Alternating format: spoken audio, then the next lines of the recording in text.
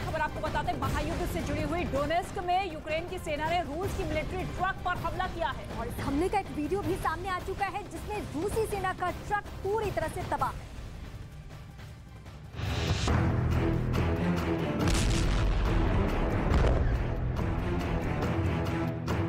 घने जंगलों के बीच दौड़ रहा रूसी सेना का ये ट्रक बारूदी हमले की भेंट चढ़ गया।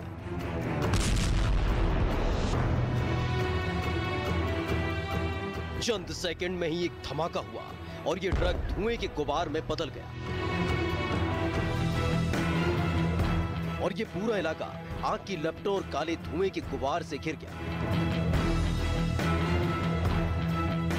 रूस के मिलिट्री ट्रक पर हमले का ये वीडियो सामने आया यूक्रेन के डोनेस्क से।